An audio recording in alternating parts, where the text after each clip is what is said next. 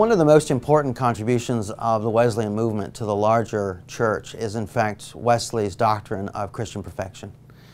And that doctrine has, I mean, it's central to Wesleyanism. In fact, I, I, would argue you can't be a Wesleyan unless you believe that God's grace is powerful enough to transform human life. Um, what, what you see in Wesleyanism, really, at the core of it, is an optimistic view of God's grace.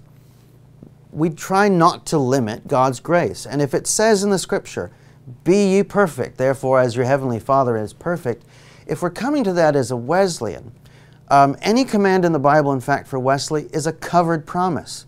So the command to be perfect is not some command to that, that God gave as kind of a tease, but in fact is a command that God has promised that He will help us to do.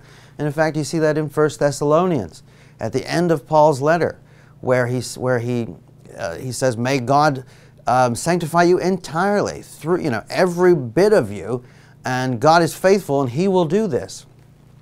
Now, where did Wesley get this idea, though? It, this, the, the, idea of Christian perfection doesn't come out of thin air. And in fact, it has a long history um, from the beginning of the Christian church. Now, where Wesley um, really received the idea, though, I mean, we have to be honest, Wesley was an Anglican.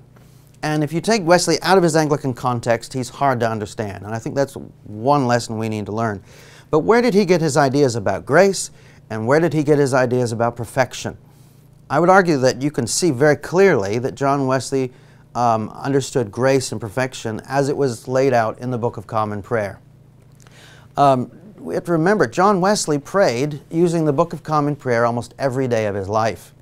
In fact, I tell my students, because one of my professors told me this, and now as a professor myself, I tell my students, if you want to understand John Wesley, you need to have the King James Bible and the 1662 Book of Common Prayer. And if you dive into those, you're going to start to understand Wesley. But how did he define grace? Well, he, he defined grace very simply as the power of the Holy Spirit.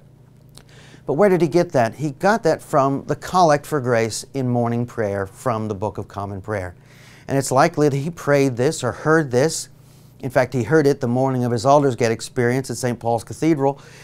Every day of his life, he heard this. And it's interesting because it's entitled the collect for prayer, and a collect is just a prayer, I mean, a collect for grace. A collect is simply a prayer, a form of prayer.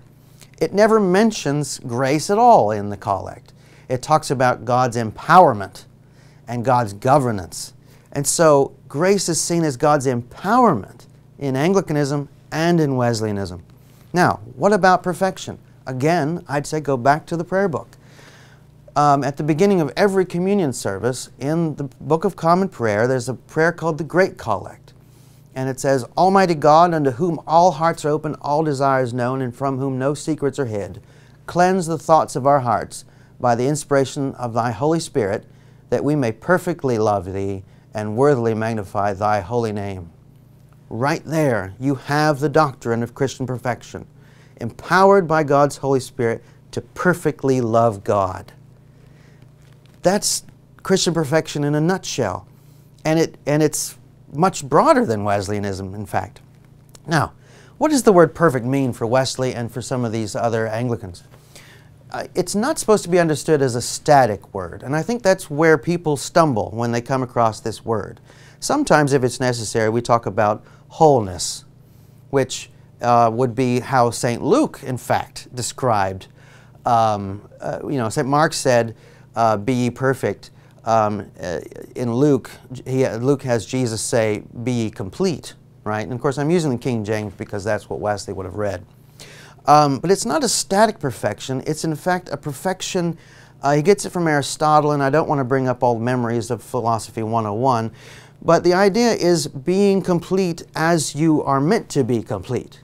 So, what does it mean for a human to be complete? Well, I think Christians should know the answer is to look like Jesus. In fact, not just to look like Jesus, but to live like Jesus did. That's perfection. That's completeness, wholeness, made possible by the Holy Spirit. Now, what about sin? How does sin work in all this? One thing I would say is that for Wesleyans, the focus is not sin, the focus is love and being perfected in love. Now, one way in which I've heard it described, which I think is very helpful, is Christian perfection is um, when the heart is simply filled with the love of God so that sin no longer reigns in the heart. That's another way of describing Christian perfection. Now, there are all kinds of ways of looking at sin, how is it dealt with, and, and, other things like that. Mainly for Wesley, sin was a very intentional thing that you did against God and neighbor. And so Christian perfection is about being filled with the love of God so that you don't do those things. And in fact, it's not a matter of coming to everything, every encounter in life and saying, all right, am I going to sin or am I going to do this in love? But for Wesley, Christian perfection was a process leading up to, a, to an experience whereby love becomes natural. And it becomes not a choice with every single encounter, but in fact something that is naturally flowing out of the heart. So when does this happen, though? That's a great question. Wesley argued that most people only experience perfection right before they die.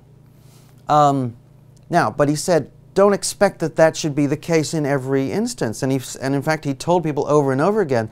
In fact, there's a great line. He says, Be a Methodist still. And what he meant by that was expect perfection now.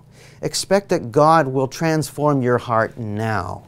So, when does it happen? It happens when, by faith, um, God does that work in our hearts. It's a process before, it's a process after, it's an instantaneous moment. It's all the above. I think that confuses people at times, but at the same time, we have to remember it's not a static perfection, it's a dynamic perfection. Essentially, what the idea of Christian perfection is, is being made whole in love. And if we remember that, I think we will have a better understanding of Christian perfection from the Wesleyan perspective.